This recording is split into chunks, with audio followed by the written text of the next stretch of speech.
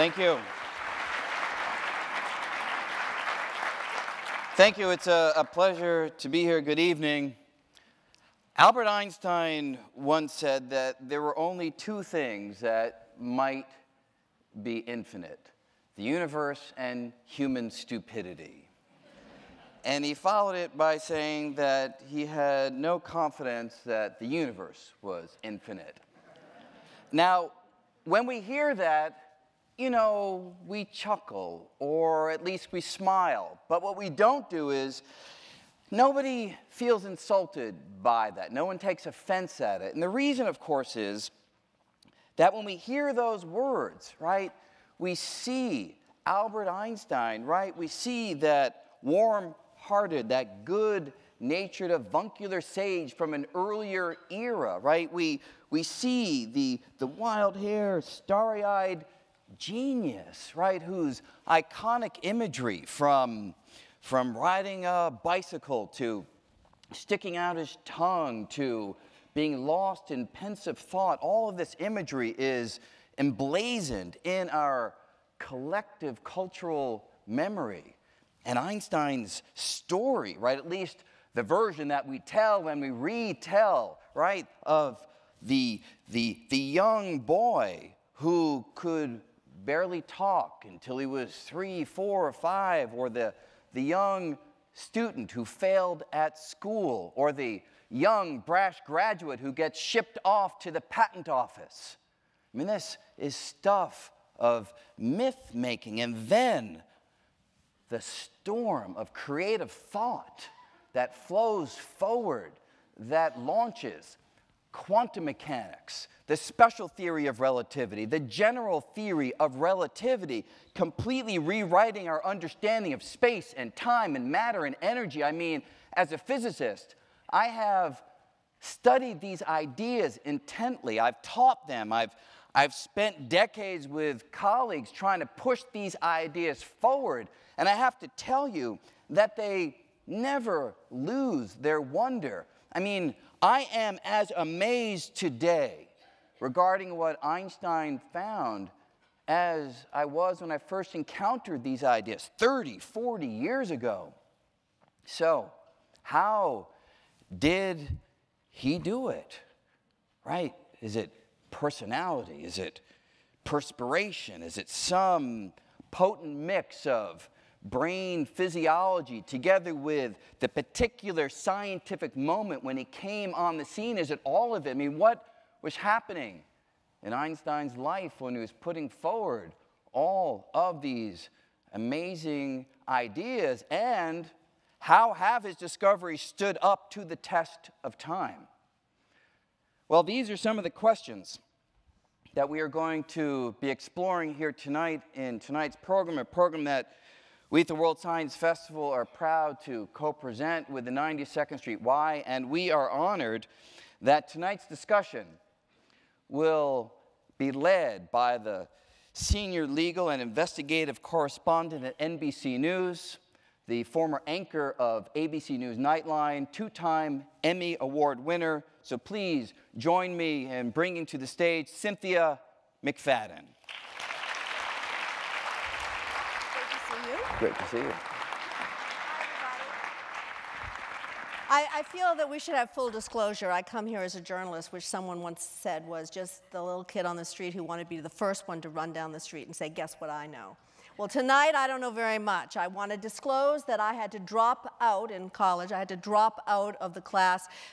Poet, uh, physics for poets, okay? I couldn't handle it. So I hope I'm going to learn a lot tonight. I certainly have a lot of questions. Brian, it's always great to be with you. And welcome to all of you to the genius of Einstein. I want to start with a quote, a, a quote from Professor Einstein. Here's what he said I want to know how God created the world. I'm not interested in this or that phenomenon, in the spectrum of this or that element. I want to know his thoughts. The rest are details. So, tonight we're going to explore the genius of Einstein from three perspectives who he was as a human being, what he scientifically gave to the world, and also what neuroscience may tell us about the man's brain. We brought together three people who have spent a great deal of time thinking about these things. You've already met uh, Brian Greene. To talk about Einstein the man, I'd like to introduce author, filmmaker, and professor of science writing at MIT. He has produced more than a dozen science documentaries and written five books, including Newton and the Counterfeiter and Einstein in Berlin. Please welcome Thomas Levenson.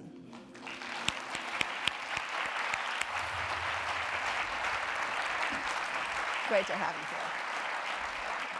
Also joining us is professor of neurology and ophthalmology at Robert Wood Johnson Medical School of Rutgers University. His research areas have ranged from abnormal eye movements to the very brain of Albert Einstein. So please join me in welcoming Dr. Frederick Lepore. Dr. Lepore.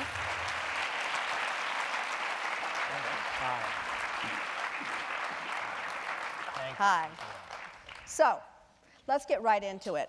Let's start with the year 1905. It was known as Einstein's Annus Mirabilis, his miracle year. Brian, lead us off. Yeah, no, that was uh, an amazing period of intellectual fervor. It's hard to compare it, it's hard to even imagine that kind of scientific outpouring happening. So, Einstein wrote many papers in that year. Four of them were absolutely astounding. One of them did launch quantum mechanics, one of them established the existence of atoms, and the two that I think have captured our imagination more than any other were his papers to do with the special theory of relativity. We're going to get into that more deeply as we go. But what was, I mean, to have this kind of a creative period, what was going on in the rest of his lifetime at that time? Well, Einstein in 1905 was in some ways um, really disadvantaged, and in some ways, uh, I think he himself would have said he had this great opportunity. He was disadvantaged because, for a variety of reasons, he completely you know, failed to get the kind of university job or uh, really entry into graduate school as it was then, not quite the way we do it now, um, after he finished his physics degree at uh, Switzerland's leading technical institution, the, uh, the, the Polytechnic in Zurich. And he just, he alienated his professors. He didn't bother paying attention to things he wasn't interested in, all that, you know, the kind of student you would expect Einstein to be. So he didn't get any help from him when he graduated, and he was in the wilderness. He taught algebra to, to uh, high school students for a while. that must have gone really well. Can you imagine being, can you imagine being Einstein's, you know, saying, I, I couldn't figure out a quadratic equation under Einstein's tutelage? It would be very embarrassing. Um, so he's disadvantaged. On the other hand, he got this job in the patent office where he was looking at technical material all the time. He was learning to visualize physical, um, physical situations.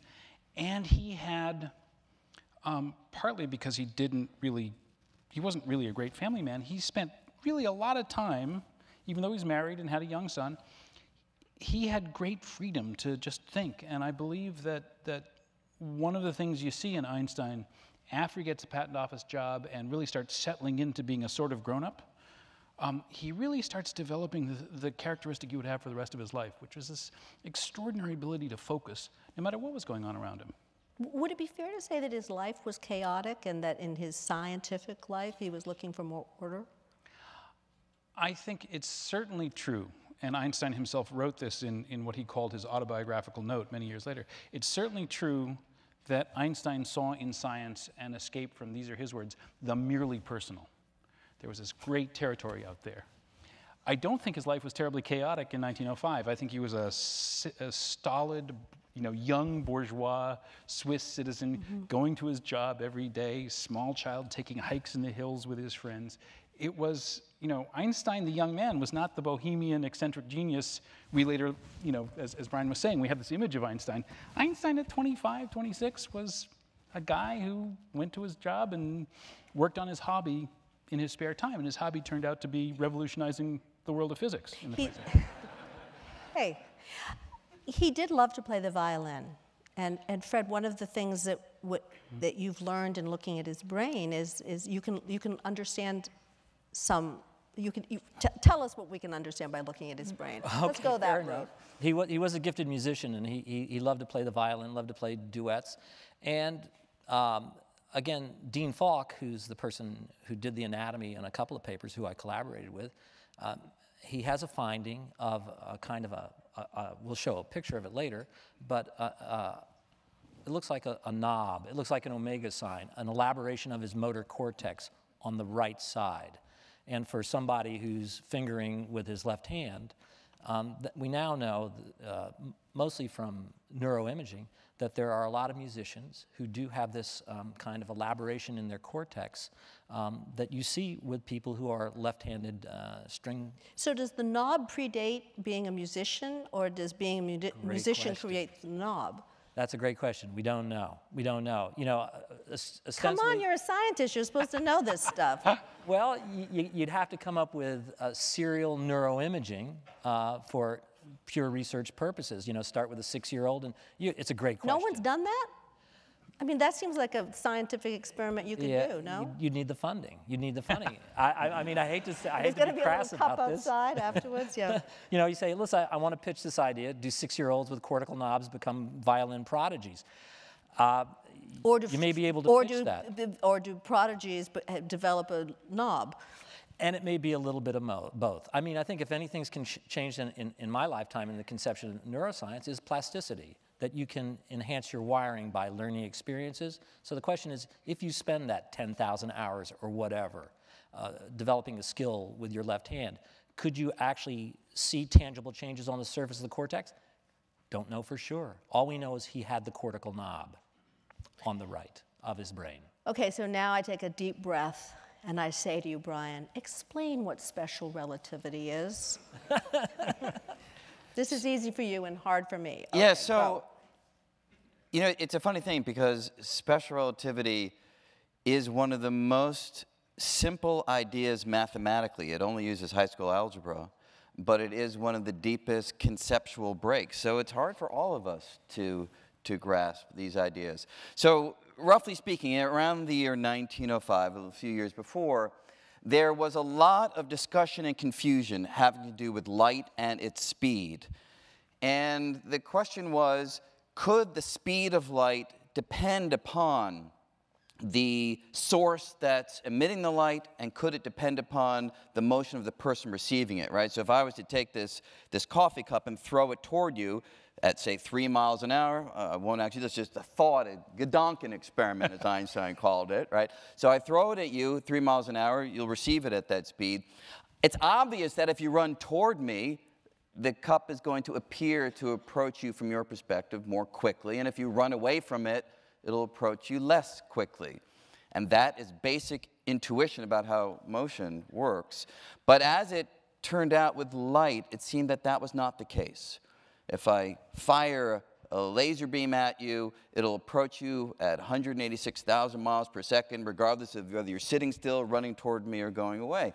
Now, uh, at the time, many people were not ready to accept that kind of idea. They were coming up with all sorts of contorted notions to try to sidestep that. But Einstein was the kind of thinker who would just come out, see the facts very clearly, and throw away the preconceived notions and say, look, that is what is the case. The speed of light is constant. And you just need to accept that. The problem is, if you think about it, if the speed of light is constant, that means it's behaving weirdly relative to experience. And speed, what is speed? Well, it's how far something goes divided by how long it takes to get there. So it's space over time. So if speed behaves weirdly, then space and time are behaving weirdly. And Einstein went for it and figured out how weirdly they behave. That's what he worked out in special relativity. Raise your hand if you could repeat that. No. I don't know if I could repeat that. so, so it's the relationship between space and Yes, exactly. He finds that there's this kind of dance that space and time engage in where they go back and forth between each other in order to keep the speed of light constant.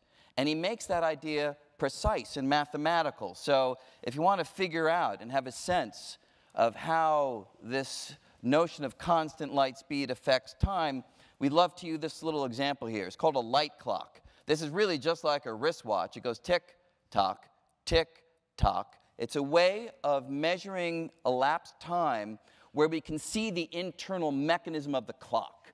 You could use any clock that you like, but they aren't as transparent as this one. And for our purposes, you can use this to pretty quickly get to Einstein's conclusion, which is time slows down when a clock is in motion. Now, if you want, I can show you that, but I leave it up to you if you I- want to see I more. say yes, yes. All right, so Okay. one piece of You're not going to throw the cup at me. No, the No, cup. okay. Well, I may throw it at you, Okay. but not yet. Okay, Um, good.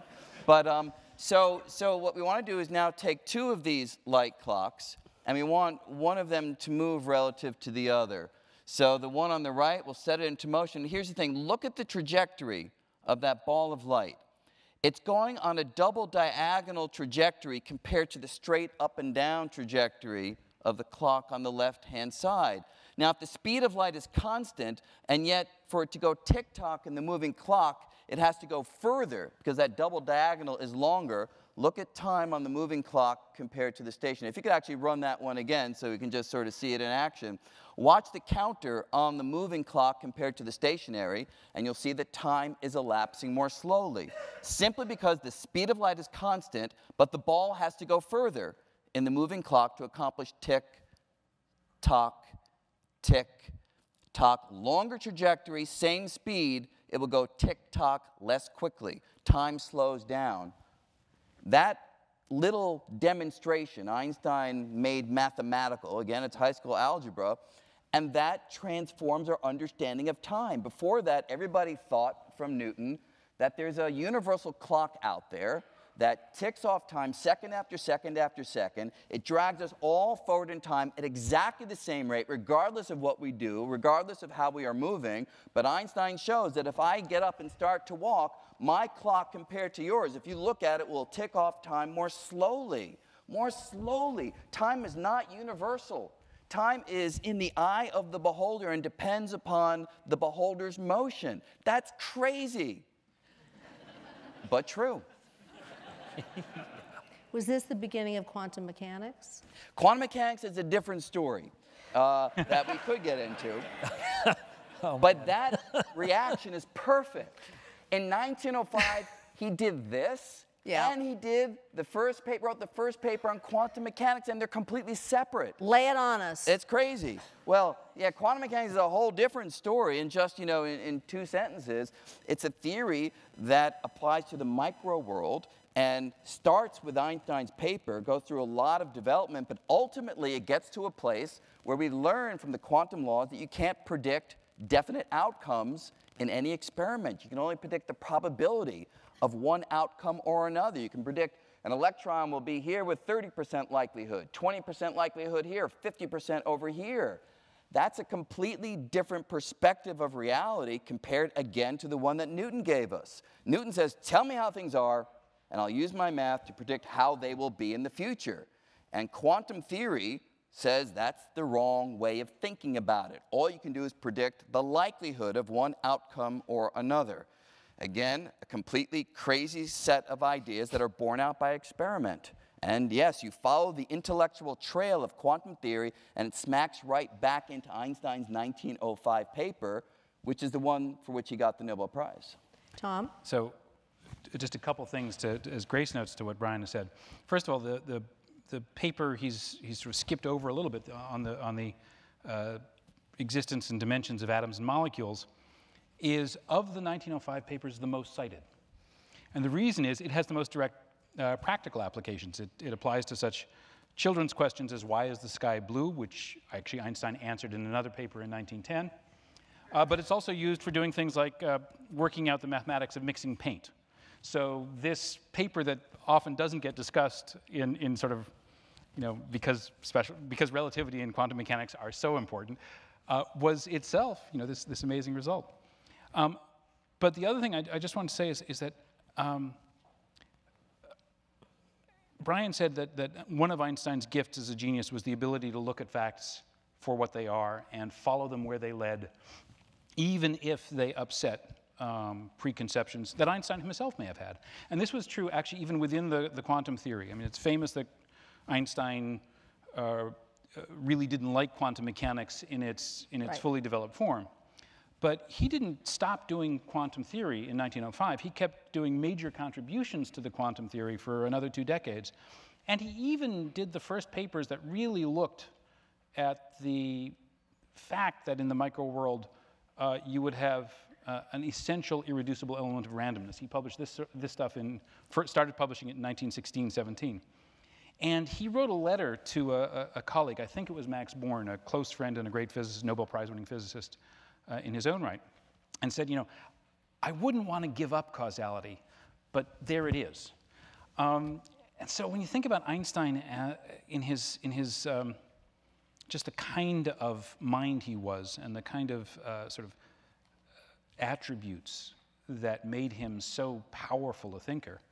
Uh, on the one hand, it's his ability to, follow, to see facts for what they are, consider their implications, and follow them where they will. And it's notable that this wasn't, in some senses, an infinite resource. He was able to do it with the quantum theory for a very long time, and he reached a point where not just because he was getting older and less flexible, though that was part of it, but because, in some sense, he was also prone to thinking about things that were congenial to him. He had taste in physics, he had things that he liked, he had ideas he responded to more than others. And there was a point at which physics moved away from the center of his affections. But before it did that, and even, I mean, even after, he was still an incredibly formidable thinker, but before he did that, he was just astonishing.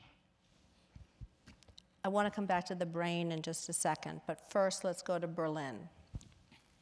1914, almost yeah. a decade after these amazing papers come out. Uh, he, the politics and the circumstances surrounding Einstein's life at that time. Let's, let's talk a little bit, Brian, about how these circumstances affected his thinking and his productivity as a scientist. Well, I think Tom can probably speak more to the surrounding influences, but Berlin was the time when he is hot on the trail of the general theory of relativity. He'd spent some time in Prague, moved back to Zurich, and then finally goes to Berlin. I think it was 1914, spring yes. of 1914, he goes to Berlin. And he started to really think about general relativity back in Zurich in 1912 and makes some headway toward the, the, the general theory of relativity. But it's in Berlin that it really starts to all come together. And by 1915, November 19, we're in the 100th anniversary of that momentous month. He gives four lectures at the Prussian Academy of Science where week after week after week he's getting closer and closer and closer. And finally, November 25th, he writes down the field equations of the general theory of relativity. So, Tom, set the picture for us. I mean, he is being wooed to Berlin mm-hmm. despite the fact that he's Jewish. Right? Well, this is 1914. I mean, one of the things, just as Brian said at the beginning, you know, we have this image of Einstein at the end of his life, and we sort of push that back to the beginning. Mm-hmm. We have this image of Germany in the 20th century, and you know, the Germany of uh, the post-World War I period and then the Hitler period is very, very different from the, the last days of Imperial Germany, mm-hmm. which is what you, what you have before, right. before the start of the war. So yeah, there was anti-Semitism all over Europe, but it was you know genteel anti-Semitism.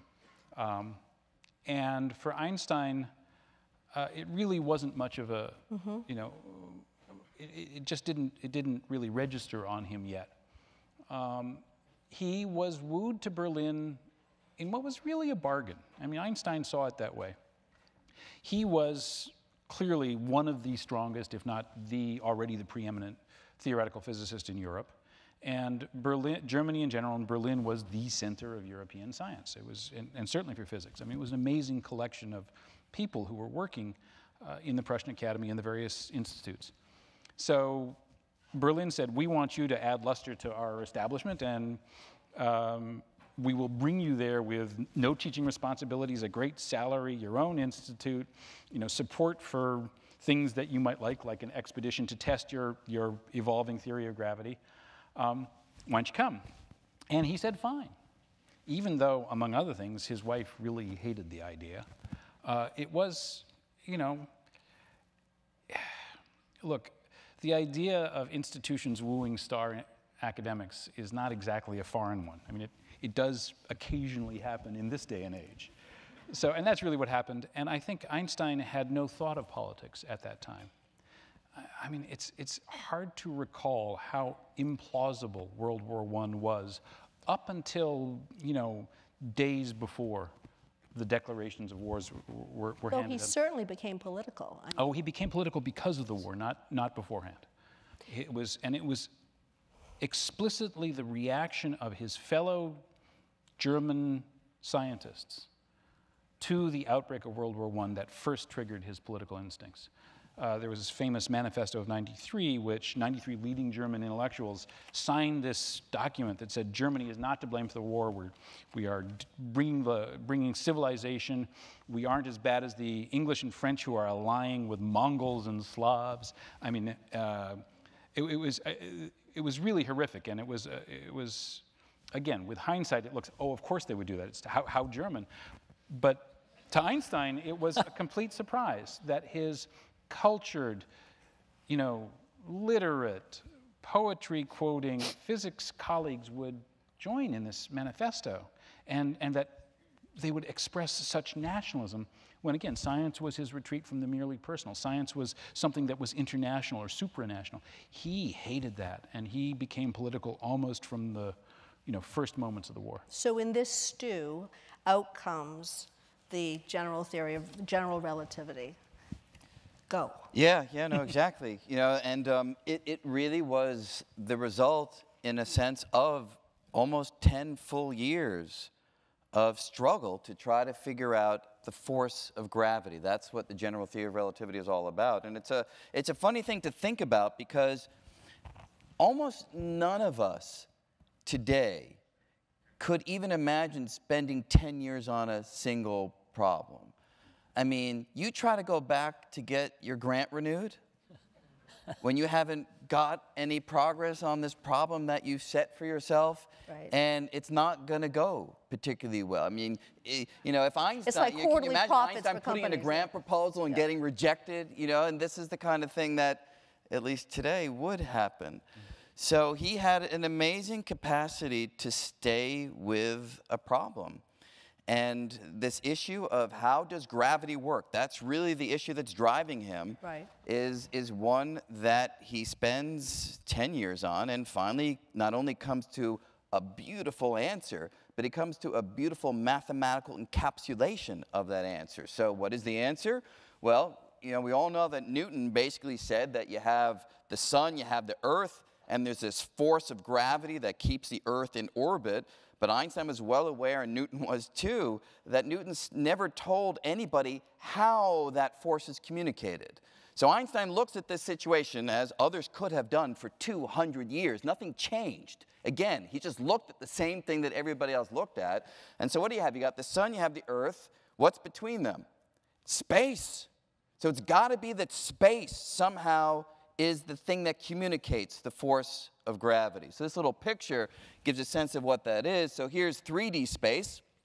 And Einstein's idea is that space is uncurved, it's kind of flat if there's no matter or energy. But if you bring in a body like the sun, Einstein tells us that the fabric of space, in fact, space time curves. And it's that curvature that keeps objects in orbit. So look at the moon around the Earth. The Earth is warping the environment, and the moon is kept in orbit kind of because space is nudging it around, keeping it rolling along this valley in this curved environment. And if you, if you pull back from this imagery, you see that the Earth is kept in orbit for exactly the same reason.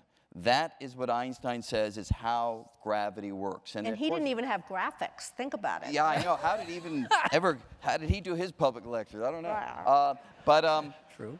and the and the wonderful thing is, there is a mathematical version of this, which again, this is the part that's harder to communicate if you don't study mathematics. But when we look at that equation, I wish we had it. I don't think we have it. But you know, it's this beautiful little equation.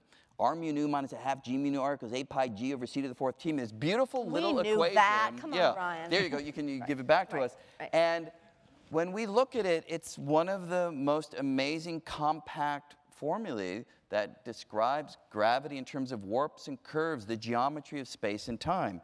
So many people look at this moment in November of 1915 as the pinnacle moment in Einstein's scientific career. How can we know it's true? How can we know it's true? Yeah, it's a good question. Uh, and for Einstein, we can answer it. For more modern things, it's harder. But um, for Einstein, he realizes that there are a number of ways that you could test this. The first is in, in November of uh, 1915, before, uh, you can hold off on this for a second, he realizes that there's a puzzle, which I believe you just wrote a book about. Right. And the puzzle is having to do with the motion of the planet Mercury. So people had long, known for a long time that Mercury's orbit wasn't closing on itself the way Newtonian physics said that it should. It was shifting by a little bit, 43 arc seconds per century, a little tiny shift. And no one could figure out why. Some suggested maybe there was another planet called Vulcan that was out there pulling on the motion of Mercury. And you have a beautiful book that's going to come out and tell right. people all about this. But Einstein says that doesn't make much sense to me. Let me recalculate Mercury's motion using my new equations. Sits down, does the calculation, and by his own account, when he looked at the result, he had heart palpitations that lasted for hours because the math showed the same answer that the observers had. So that was a real key moment for Einstein. In fact, there's a quote, maybe you know what it is, but he says something like, Something snapped inside of me.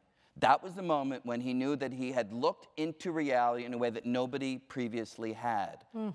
But a real test is not to retro, it's not to retrodict, it's to predict something that no one has seen before. And that's where this wonderful little document that I think you brought to yeah. our attention. I never saw this before. It's a beautiful. can you bring that back up? The that that note. Uh, maybe not. There yeah, it is. There yeah. it is. So so I mean, you want to describe this? Sure. This is uh, uh, Einstein went through this enormous struggle to get to general relativity, um, and uh, I will defer to Brian to tell me if this is true. But basically. As of 1913, he'd, he'd gotten some help with the math that was uh, his, his mathematician friend told him was too deep and too hard for physicists. Um, Grossmann talking Grossmann, about yeah. the, you the Riemann tensor. he and said physicists stay away from it. Exactly. And that led Einstein to look at it, of course. It was right. perfect. And, uh, and they worked out this, this amazing theory that had um, uh, matter and energy warping um, space and time, except uh, it, it wasn't, they, they, it was warping. He knew that time warped under gravitation at that point, but he wasn't sure about space yet. And, but he knew, even at that stage of the theory, that if you saw gravitation as, um, as matter deforming space-time, then anything that travels through space-time, including light itself, would have to be, would be deflected in the presence of a big, uh, big gravitational field, a big dent in space-time. And that's what he's drawing here. And what this letter is about he's, is in 1913, he's figured this out. He's got a number. It's the wrong number, it turns out. He's going to work it out later. Um, but he's sending a note to the American solar astronomer uh, George Ellery Hale, uh, who, among other things, built the biggest American telescope, biggest telescopes in the world for about 30 years. Um, but Hale was himself not a deep space astronomer, but a, a solar astronomer. And um, Einstein wanted to know if there was any way at all uh, that you could actually test this out in daylight? And the answer was Hale regretfully reported no. But it turns out that you can take this idea further, which Einstein did later on, and realize that during a solar eclipse, when the moon obscures the sun, you can see the distant stars, and according to these ideas of general relativity, the distant starlight should travel on a curved trajectory on its way to the Earth, being moved, deflected by the sun, and that would therefore shift the star's apparent position in the sky. So, if during a solar eclipse you could take photographs of the background stars and compare their positions to where they appeared six months earlier, when the sun was on the other side of the Earth and having no influence on the trajectory of the starlight, a tiny shift would be apparent if Einstein's ideas are correct. It's a little tiny angular difference, but Einstein could calculate what it would be. So that's the proof. Uh, well, that's the proposal. Then you got to go out and do the measurement. And the measurements were undertaken in 1919. Two teams went out to uh, Brazil and off the west coast of Africa, and they took these photographs as best they could. There were various technical problems with weather and so forth, but ultimately, by September of 1919, the data was analyzed, and the folks doing the analysis were convinced that the data established Einstein's theory. And they, they send Einstein a telegram, and Einstein sees that the result is positive, and he's with a student at the time when the telegram comes, Ilse Schneider, and she says to him, What would you have said, Professor Einstein, if the results had not agreed with the general theory of relativity? And Einstein famously says, I would have been sorry for the dear Lord because the theory is correct. like how he thinks.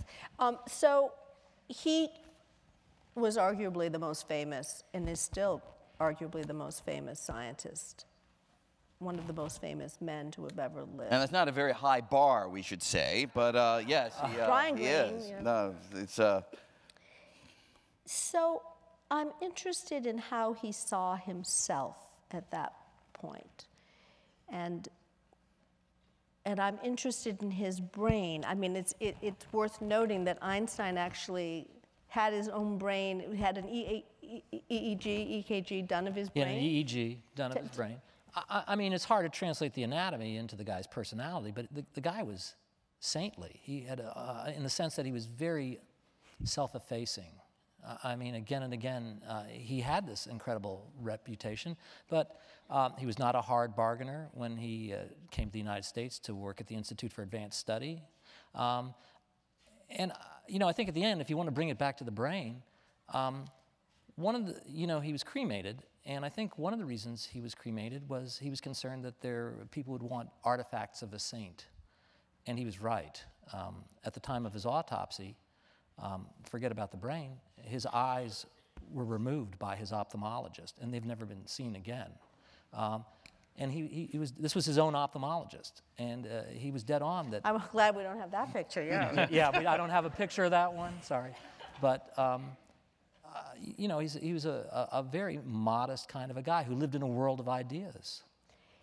And yet, by the time he comes back to America, many people talk about these next 30 years as the lost years. And I'm fascinated by that. A man with this enormous brain who has these thoughts that are unimaginable for most of us, that, that are even proved, some of them, some of them Well, maybe not yet. He, he never made his peace with quantum mechanics. He never made his peace with it. But, but what about those years when he finally he gets lured to Princeton? So tell us about that.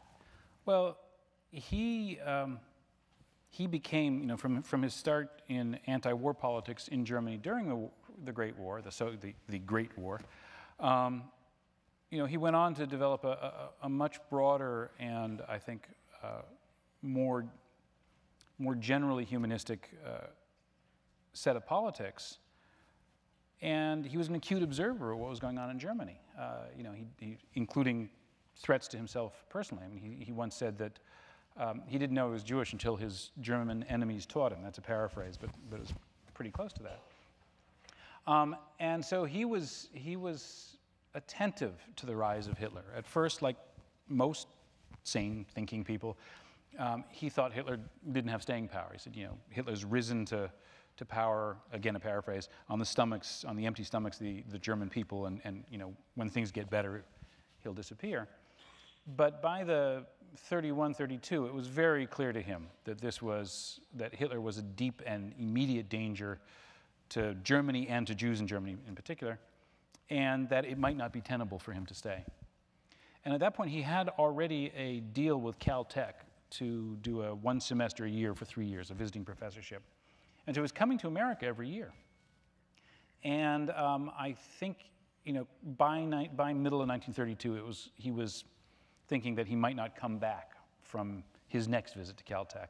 And it was in that circumstance that uh, Flexner, the, the magnate who, uh, the, the, the, the intellectual impresario who set up the Institute for Advanced Study, um, decided that he would try and bag the most famous name in, in science to put his brand new institute on the map.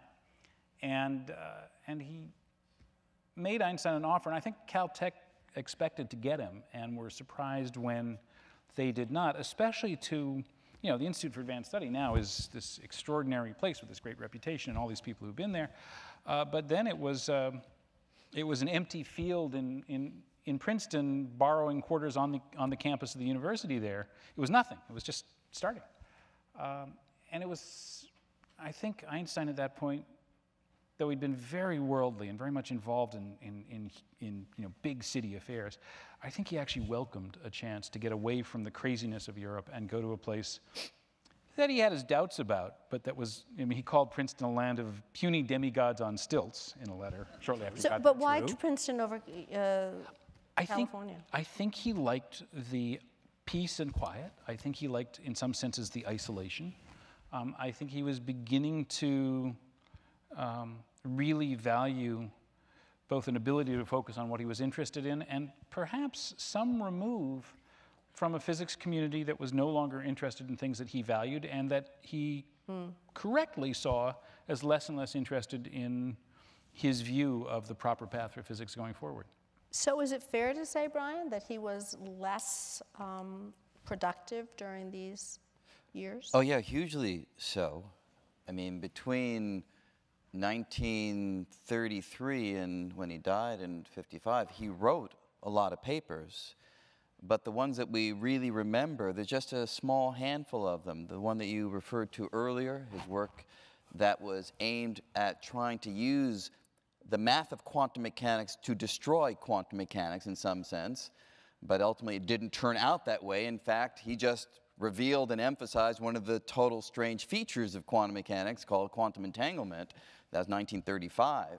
You know, he wrote some other interesting paper in 1939, but throughout it all, he was in search of one real prize, which was the unified theory. And this was a direct extension of everything that he had achieved as a young man. So remember, back in 1905, he's in the patent office. He is an outsider to the establishment. Comes up with these new ideas of special relativity, which turn everything on its head, and then he gets brought in to the establishment, but he's still a very independent thinker. Ten years later, the general theory of relativity, you know, an amazing discovery. But now he's like smack in the middle of, of science in the traditional established sense. And it's as if at that point he is trying to use all of the techniques and methods that served him so powerfully well as a young man. And he just beats on that same approach over and over again, but the methods were no longer suited to the next task. The next task required other ideas. And that's why he kind of doesn't make any progress really toward the unified theory. So I want to go back to the idea of genius. Mm-hmm. Did he just, was he a comet who, who flared out after 2000 and, uh, 1905? I mean, was, he, was this because his brain, I mean, he, he, he overdid it and now he's resting? Was it because what? Or, I mean, does the human brain only have a certain capacity and he used it up and then some? What, what? Well, I, I think scientists such as Einstein and mathematicians in particular, they do have a trajectory, and they tend to have their greatest achievements earlier in life. Why? Flexibility, maybe, or it's hard to absorb the newer ideas. We like to think none of that's really true. Well, al- that also- you can continue on for a Ah. very Present- long career, productive. Present But, all right, But- but, but no, yes? Let, let me just jump in here. I mean, recall Einstein. Einstein starts doing interesting publishing, and he, he actually published his first papers in 1904. And they were once dismissed as completely inconsequential papers. They're not. They're, they're building blocks for some of what he's going to do next. And he keeps on doing really first class, you know, Nobel Prize or near Nobel Prize quality work until 1925, when he is 46. Is that right? Something like that.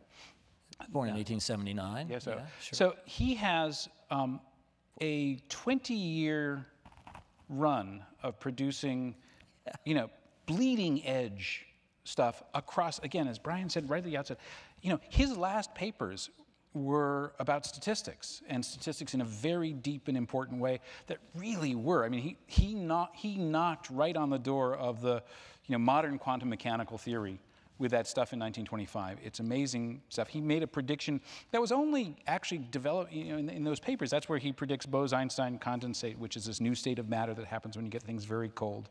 And you know, sort of quantum scale objects stop behaving like quantum objects. They become macroscopic objects. And these are amazing, weird, difficult ideas. They involve leaps from mathematics to, to you know, imagination about you know, actual physical intuition. I mean, it's extraordinary stuff 20 years after he did the stuff that we're, we started out talking out, uh, about.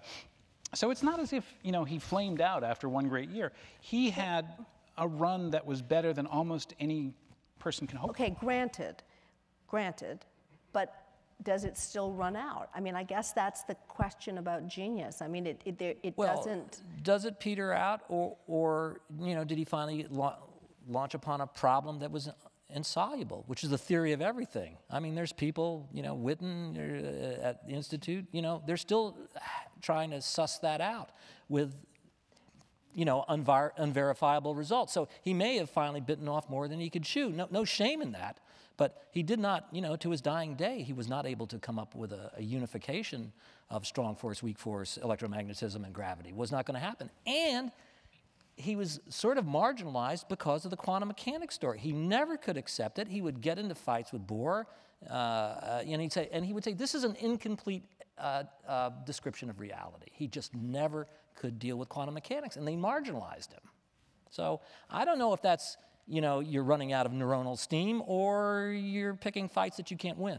On the other hand, he becomes like this folk hero legend symbol, right? It, while he may not have been as productive, and I think we all have to agree, he wasn't as productive, right, as he was in his early life, he became this iconic figure. I love, show the picture of the sandals. I love this picture. Um, he's where, got the picture? There, it's coming. It'll come. Um, there we go. Yeah, yeah. Okay, who can't love this guy? Those are actually, now we know from excellent research that he is actually wearing sandals that are a woman's size 11, as confirmed by the man who sold them to him, David Rothman in Suffolk County, Long Island. We had to get that in. But this is actually a, Great. a, a kind of a tradition among f- physicists. Is that what you look like on the weekend? Yeah, right. there you go. nice, nice, nice. Yeah, good, good You look. take that down now. Thank you. Um, there's so much. Those are your shoes, young lady, right yeah, over there. there. Yeah. Hi, Tracy. Um, there is so much folklore around Einstein. I mean, I love the clipping from the New York Times where he says he's incapable of doing his taxes because they're so complicated. I mean, I mean, it, a And he, and he comment. cultivates that too. I mean, you've Right. studied this more than I, but he's well aware of. Uh, There you go. Yeah, there you go. You know, he's well Try aware of all these on April issues. 14th. Yeah, right. And uh, I, I think he enjoyed starting to starting the myth going forward. Yeah, so he he he kind of enjoys being a celebrity, right? I mean, he's no Kim Kardashian, but he's enjoying being a celebrity. Well, he didn't do Does book he? signing tours, but you know, there's lots of kids in Princeton probably still alive who he helped with their math problems. He was this kind of avuncular, as you say, genial person. I, I mean, I, I guess he did, you know, that's obviously Charlie Chaplin, and he, he would take an occasional star turn, but you know, he never really left Princeton from 33 for a prolonged period of time. Yeah, that's the, uh, the premiere of City Lights. And uh, there's this famous, uh, uh, probably apocryphal story where, you know, Einstein and Chaplin come in on the red carpet and there's this crowd cheering. And Einstein says to Chaplin, allegedly, what does it all mean? And Chaplin says, nothing.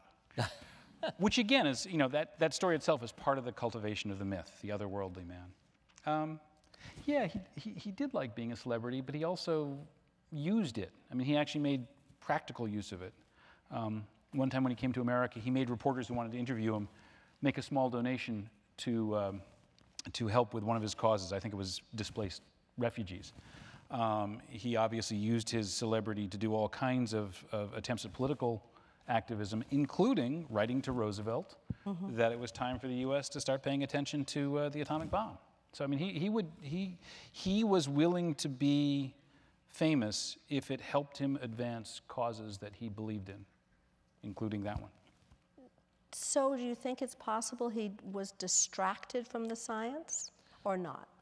I don't think we're going to know for, for sure. He certainly was on, on the larger arena in terms of you know being asked to be the um, prime minister of Israel or the leader of Israel at one point. That was Which he brewed in the turned back. down of- he- he He did, uh, to his to his everlasting credit. and he had a wisdom. And Ben Gurion sa- asked, Ben Gurion invited him to be president, and then said to an advisor, "What do we do if he accepts?" Right. But you know, um, he, he was a private intellectual. Um, a lot of his work could be done by himself in, in, in his office, and uh, the, he lived in a world of ideas. I think the thing that's often underplayed is the years at the Institute for Advanced Study. One, one of his boon companions there was Kurt Gödel, you know, the, uh, the author of the, the he framed the incompleteness theorem. So you've got, you've got Einstein with relativity, Gödel with incompleteness. The only one you're missing is Heisenberg with uncertainty, if you're talking about three kind of cardinal cutting edge conceptions that characterize the 20th century. So God knows what kind of uh, conversations he would have. And there's pictures of him and Gödel going towards Mercer Street for lunch. And um, I imagine he got his intellectual rocks off with some of those conversations. I, I want to talk about it. I, I want you to talk about his brain and what and what we know actually physically. What what do we know from Einstein? So you need to tell the story about what actually happened for those in the audience who. Well, you know, cut me off because it's a long story, but it begins, the brain, the story of the brain begins when he passes away uh, on April 18th, 1955. He knew he was going to die. Uh, he'd actually been living on borrowed time. He had an aortic aneurysm, uh, abdominal aortic aneurysm, and you didn't have much you could do for it in those days. He'd actually had an operation several years earlier. They, they would wrap cellophane around it with the idea that you'd scar down to keep it from rupturing, but it, it didn't hold, and it came back, and he knew it, and so April 18th, 1955, he passes away, uh, utters a few words of indecipherable German, German. We don't know what he said. And the, the body is taken down for the autopsy, the routine postmortem to determine the cause of death. And Now, had he left instructions? no, nothing. Nothing. There is nothing in the will about the disposal of his body. Somehow it was known, though, he wanted to be cremated. That, that was known. Um, April 19th, which that thing you just showed, was the next day in the New York Times. His family, basically his son Hans Albert and his executor Otto Nathan, read that the brain has been kept. And they're going, What? Nothing mentioned in, in, in the will, but that was like not on the script. And they go to the pathologist, Thomas Harvey, a guy in his 40s, who's the only chief pathologist at this little medical, uh, little hospital, Princeton Hospital. And Harvey pitches the, the pitch of his life, and he says, We're never going to get another chance like this. Let, let me study the brain. And Hans Albert goes for it, and so does Otto Nathan. So what do we know? What do we know as a result of, of preserving? I mean, I can show you some pictures. I Let's mean- do that. Okay. Let me tell you what we don't know. we'll start. Okay. Okay, it's not a bigger brain. It's not a bigger brain. Okay, that's you It's know, not bigger. It's not bigger. It's 1,230 grams. Not a big brain. So if you're into the bigger is better, it doesn't work for central nervous system. But the architecture is different. And rather than me say, well, this squiggle goes there and that squiggle, let me show. Okay, all right. So let me just. Okay, let me just orient you real quick. Cut me off if this goes too long. Okay, frontal lobe. That's the back of your brain. This is his right. This is his right hemisphere. The, right there is the split, the hemispheric split, inner hemispheric split. Okay, just the highlight, the game highlights on this. Okay, here's your frontal, frontal lobes. One, two, three, four. Four frontal gyri. The great, great, great majority, we don't have, of us have three. He had four. That is a serious anomaly. How do we know that? Because there are standard atlases of brain anatomy, Ono and Connolly. And again, I am stealing from my colleague Dean Falk, who's the real anatomist in this, and she poured over this brain. But in any event, that is not standard issue, that frontal lobe. Okay?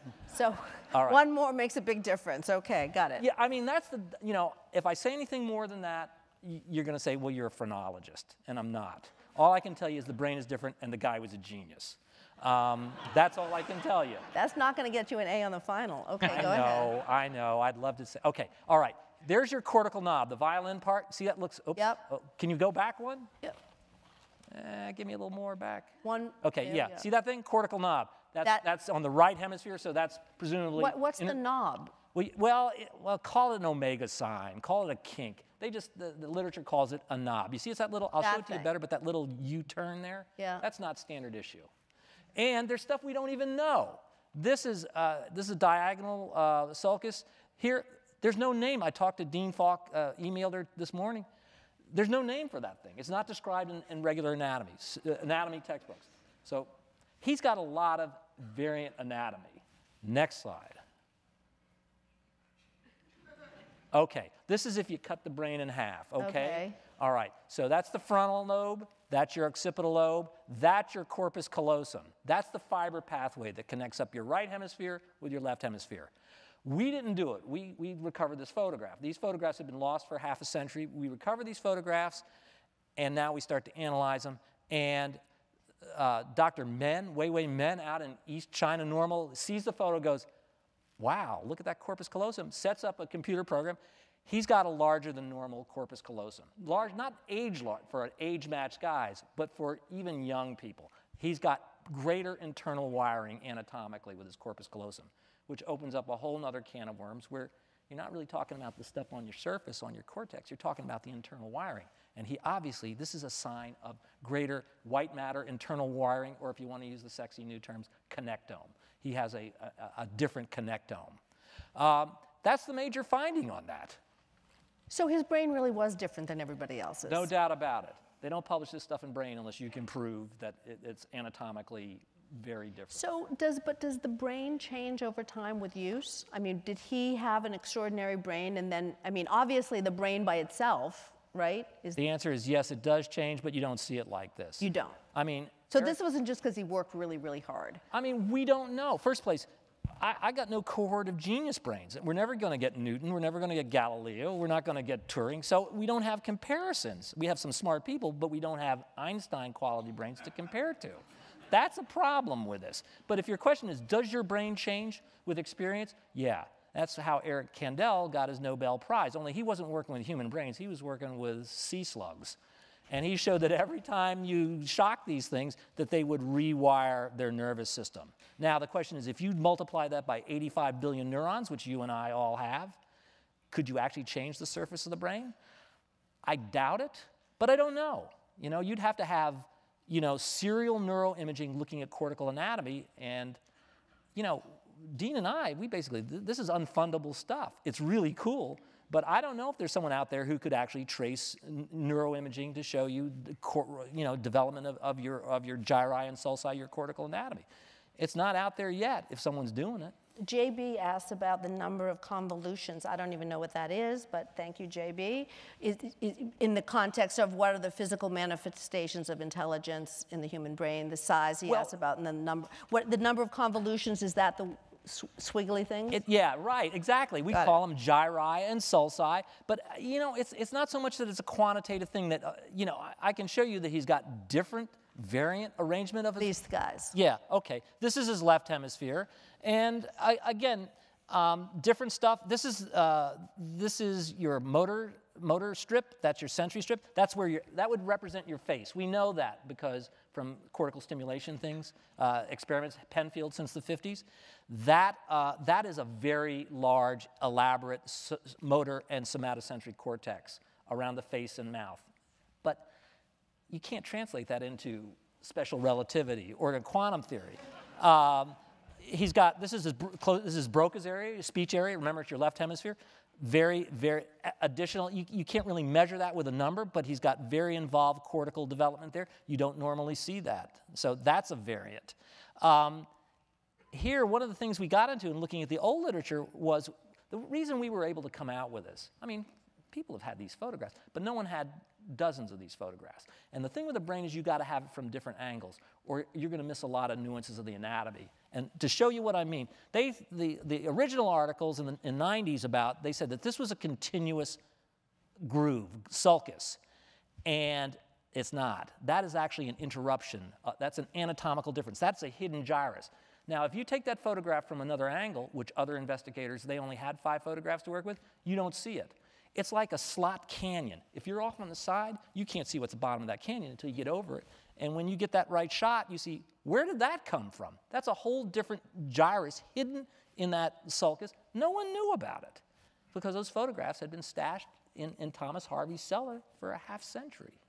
So there's a lot of little things like that that tells you the brain is different. I just can't point to you and say, well, this is why he was a good violin. Well, maybe a violin player. Maybe I could tell you that. But I can't tell you why he could do Gedanken experiments. I can't tell you why he could learn tensor calculus to figure out the theory of general relativity.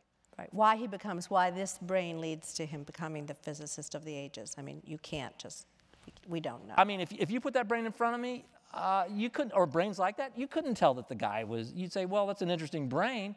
Part of the thing is this is kind of a lost art. You know, cortical anatomy is, this is a, this study was a very interesting detour off the main road of neuroscience, but it really is a detour.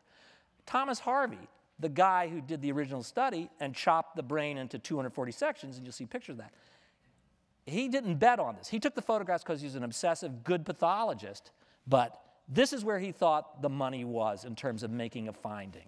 You, you basically cut the brain into 200, 240 uh, sections, and then you make slides from that, and you look at the, the microscopic anatomy. That's what Harvey thought.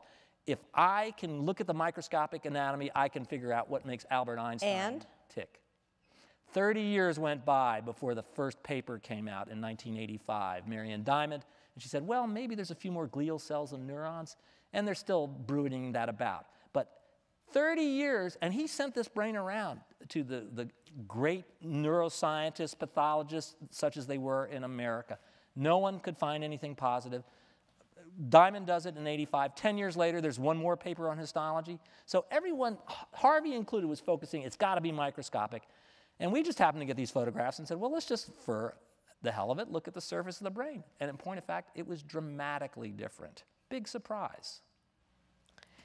Well, I learned something. I don't know about the rest. Wow. Okay. So it's not size. We got that. Yeah, not size. But the physical structure is very different than a regular brain. Absolutely. Okay. Thank you.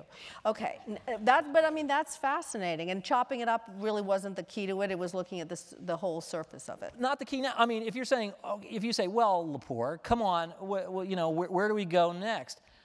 Can we look at the wiring? Can we look at the connectome? And now you're going to have to resection those cubes. They're embedded in plastic. Look at them under a microscope and measure the myelin length and uh, of the of the of the neuronal fibers. Maybe, maybe you're going to get something out of it. I, I mean, the, the cortical anatomy. I think we've run the table on that. I just don't You know, it's a very further. interesting idea, though, that the brain itself doesn't make the genius. Maybe it's a necessary and sufficient condition, but he, then he has to do something. I mean, he, right, Brian? I mean, Yeah, I mean, it, uh, You it, know, it could be a necessary condition, but not No, no, not a sufficient. condition. Yeah, I mean, right? all the other things that were going on in his life. I mean, the things that made him look at the establishment and be willing to challenge it. I mean, the traditional graduate student goes up the ranks and wants to please their advisor, wants to please other faculty members, because they know they're going to give the recommendations for the next stage of their career. And Einstein just didn't care about that. And I'm sure you can trace that psychological mindset to earlier places in his life. People have done that. But I think that experience and that frame of mind was as potentially important as the extra thingamabob that one Right. found inside of his brain. That's what I call it too. Yeah. I, I just want to bear down on this point a little bit, though. I mean, as the father of, of quantum mechanics who, who turns his back on it, right? Um, to those who have said the last 30 years of his life not as productive, not that they were unproductive, I- but not as productive. I mean, where, where do you come out in this, this conversation? How great was his contribution, in your opinion, after his arrival in Princeton? Uh, I, I guess the answer is similar to Tom's that in, in, in the grand scheme of things, it just doesn't matter. What he did by 1915 was so extraordinary that you, you, there's nothing that could possibly tarnish his standing in the, in, the, in the scientific world. Now, it is the case that he had a singular goal and a singular focus. And in fact, he thought repeatedly that he had found the unified. He published many papers on the unified theory. And paper after paper after paper, ultimately he'd say, ah, that's not quite right, but I have the new idea. And he'd publish that one. And this cycle went on for, for decades. And it ultimately was not influential. But he said, uh, in other words, when we do our work today, day to day, there's almost nothing that we do that doesn't come to us from Einstein. Every calculation that we do relies upon ideas in relativity, either the special theory or the general theory. And every calculation that we do in quantum mechanics ultimately goes back to the very ideas that were in the photoelectric effect. So there's, there's, there's, his, his influence is so spectacular and deep. So, Tom, was he happy with himself? Did he feel he'd done a good job? How did he feel? Was he frustrated? Or did you know? I asked Meryl I- Streep once if she, if she, when she was having a bad day, if she thought, "Well, I am the greatest actress of my generation." She said, "Do I look crazy to you?" So, how did how did Einstein feel about his accomplishment? Was he? I, I don't think, I mean, I, I don't think most of us, most days, take stock of our lives and say, okay, I've, I'm, I am, you know, I'm, I'm, my life is a success, my life is, has value or not. Um, Einstein, uh, you know, Einstein did calculations on the last day of his life, right? Correct. He kept working. Um, and I think that's, you know, he, he, he did say once that he knew that most of his colleagues thought he'd gone crazy. There was some, he put it slightly differently, slightly less, less harshly, but he says, but it's okay. I've, you know, I've earned the right to be as, you know, stubborn and as focused on what I'm interested in. And so to that extent, yeah, he knew he, he was Albert Einstein. He had done his, he'd done good stuff. And if he thought something was important, it was okay to pursue it. But when- you know, going to the general. but did you theme, see it as a failure, not being No, able to I find mean- a unifying theory of everything? Yeah, I mean, yes, he he yes and no. He in the 50s a few times said, you know, it's getting clear that I am not going to solve this problem. But he also said, I'm not going to stop working on it. This is the problem I'm interested in. You know, to the general question of, you know, what can we say uh, from a singular, you know, one data point, Einstein, about the nature of genius? One thing is there is, you know, people are not geniuses out of context.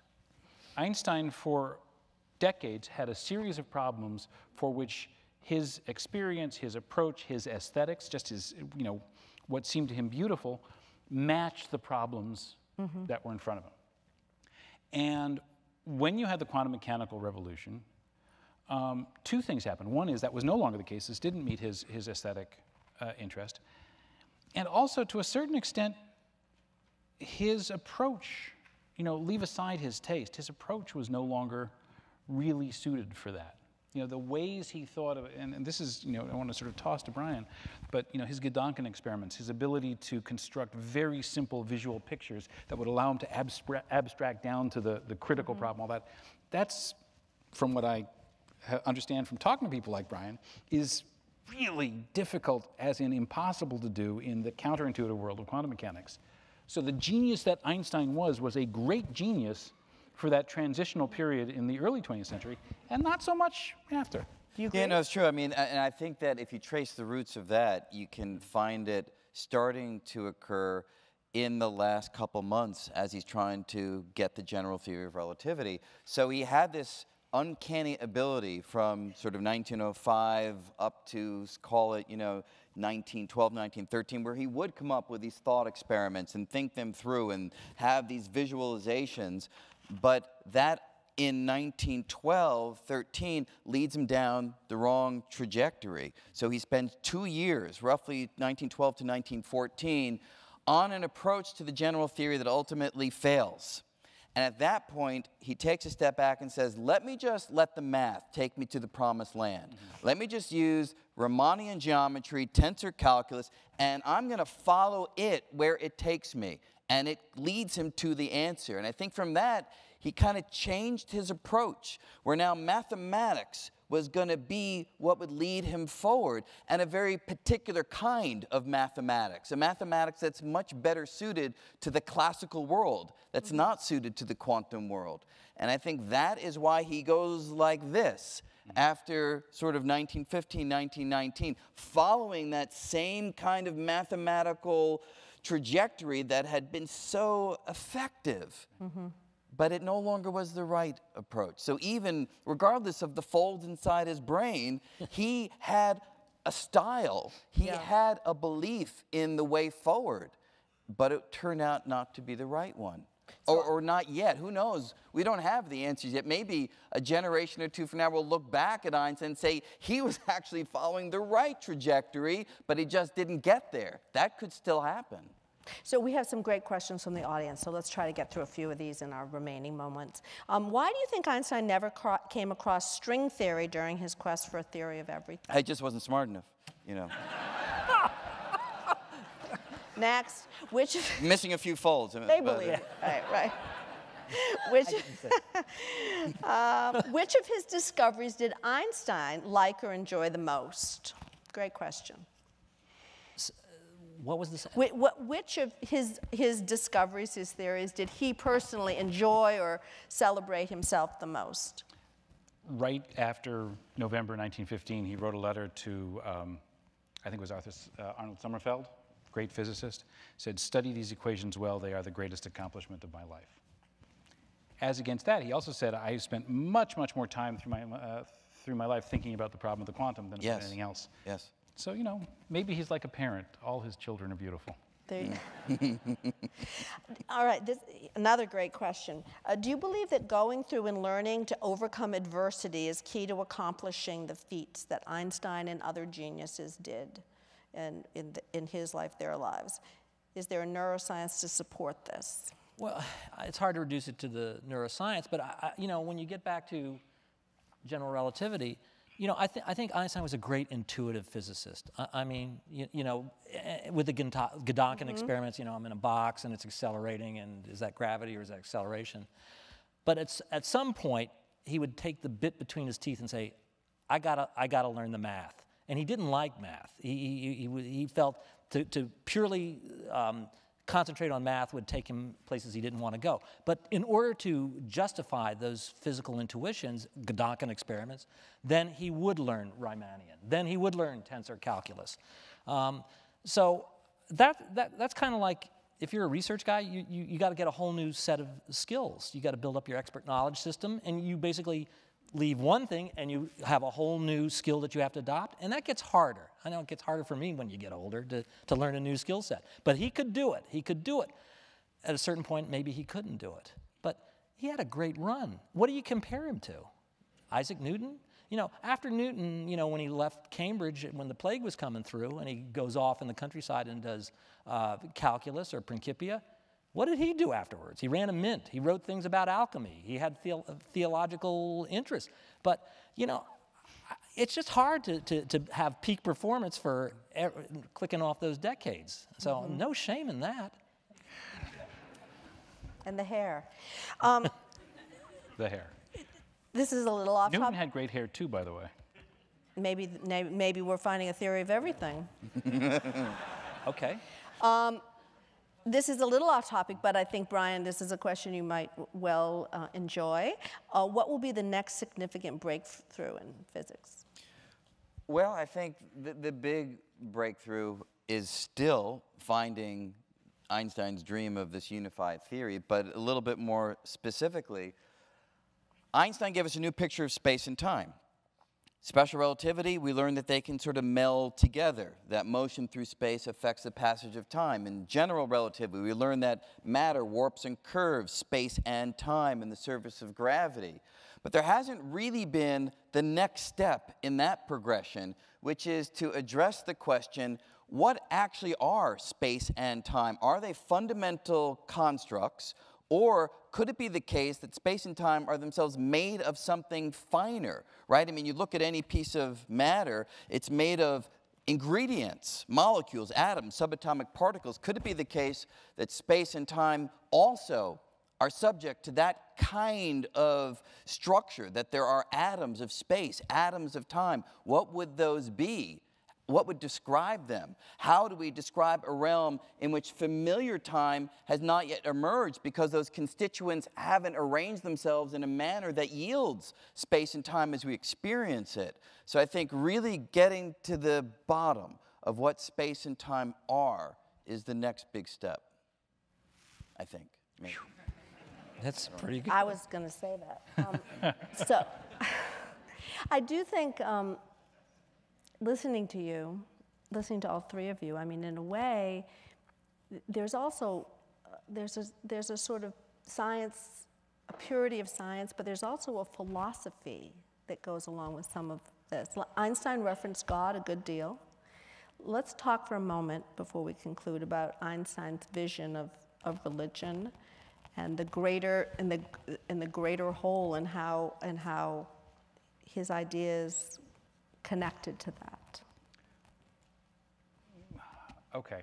Um, Einstein was an extremely clever man as well as being a deeply smart man. And he used God talk in a variety of metaphoric ways. He himself said that his God was Spinoza's God, the abstract ordering of the universe. He was not a person of traditional faith uh, in a, you know, in a, one of the, in any of the revealed re- uh, religions, Judaism as his tradition. Uh, he didn't, you know, the, the, the um, the traditional view of God as some supernatural being acting in, acting in time, that was nonsense to him. And he could be very harsh in private describing this nonsense. Um, you know, he went to, to Palestine in, as, as, as then, uh, in the early 20s, mm-hmm. saw uh, traditional Orthodox Jews praying at the, the Wailing Wall and was contemptuous of them. I mean, his private writing about it is just, you know, it's, it's really, these people are, are crazy. They're lost in time, this kind of thing. Um, at the same time, he really did feel a very strong sense that the fact that the universe was ordered and it, that order was accessible to human reason was a deeply beautiful, deeply mysterious fact of, of life, right? Um, and he was perfectly willing to talk about that in terms that were congenial uh, to broader discussions about religion.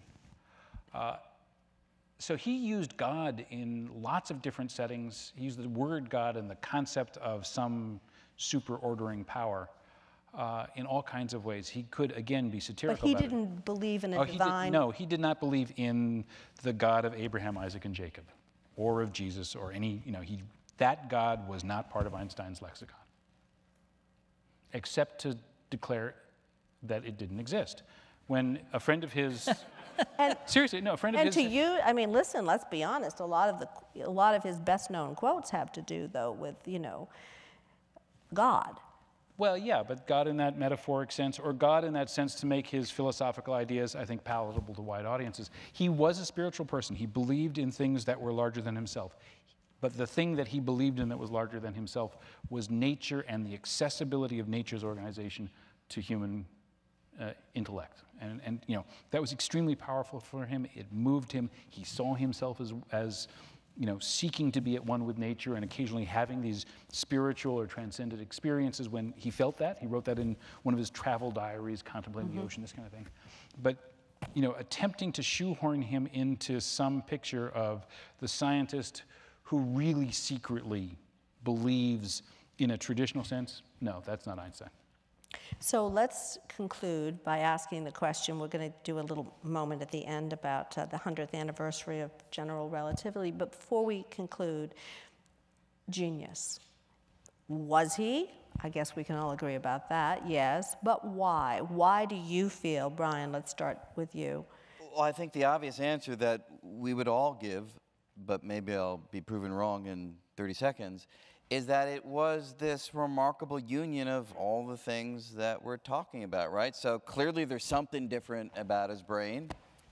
Presumably that had some role because the brain is where presumably all this stuff happened.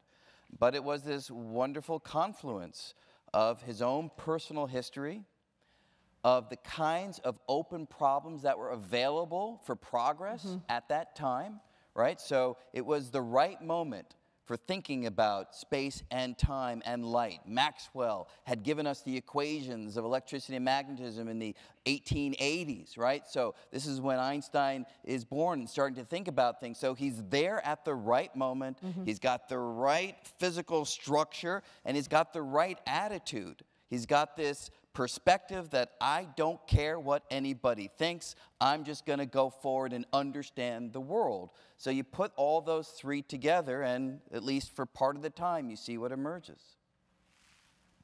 Fred? Well, he certainly was a, an incredibly hard worker. He had the infinite capacity to take pains.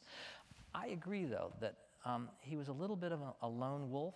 Um, and that may have helped him in the sense that when you're in that patent office making your living looking at at inventions, you can't get to the university library because the hours were such that he basically was, a lot of his thinking was his own thinking, right. and he was not in, at that point in the academic establishment. And if you look at those original manuscripts in, in 1905, they're all handwritten out, and, and there's not a lot of references.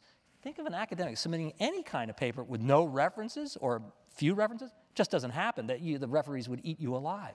But Einstein, just the strength of his ideas and his independent thinking, untrammeled upon by external influences, you know, maybe that did give him the focus to, to come up with these, uh, that annus mirabilis in, in, in 1905. But one thing I would say, genius, it's not, you know, everyone, it's not homogeneous. I, I mean, there are all sorts of geniuses. I mean, I, you know, there's a guy on the basketball court who's got ball smarts. You got social geniuses. We call them politicians. You know, okay? So, I mean, he was, you know, a physical genius. He was, uh, in physics, a physics genius. I'm not going to tell you what I see on those photographs really explains that. Um, he wasn't a great mathematician, but he learned enough math to do to take his strong suit, which is physics, and and couch it in, in, in mathematical terms mm-hmm. and, and make it demonstrable to the public, to the scientific public. Tom, wind it up for us. Well, I think, I mean, I agree with what's been said uh, by both Brian and Fred. Um, if the word genius has any meaning at all, Einstein has to be on that list. Um, he was a genius uh, in his, you know, the measure of it is his accomplishments. But I guess from where I sit, the point I keep coming back to is that the particulars of history matter. Mm-hmm. You know, if Einstein had been born in Germany before 1900, before 1800, he would have been before the Napoleonic, you know, emancipation. He would, as a you know, a Jewish kid raised by a Jewish family from the villages of you know, South Germany would never have come close to the education he needed to make the first step in any scientific career. Um, so, you know, a miss by 100 years. If Einstein had been born 30 years later, he would have been a very bright, good scientist, but he would have missed some of the window of opportunity that he, he you know, went through so, so eagerly.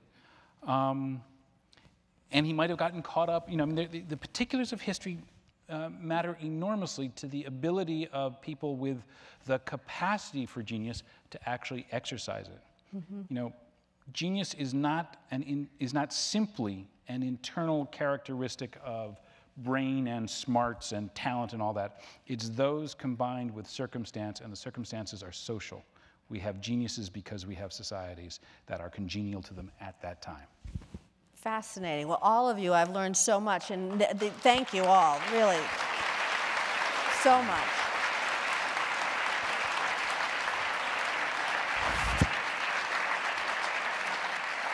Want to thank all of you for being such a great audience, and it is the 100th anniversary of relativity. So, what's the science, world yeah, science so the Science do? Festival will have that as a theme this year. So, if you enjoyed this conversation, look for a variety of programs that will explore general relativity this May. So, keep your eye out for thanks, those. Thanks very much.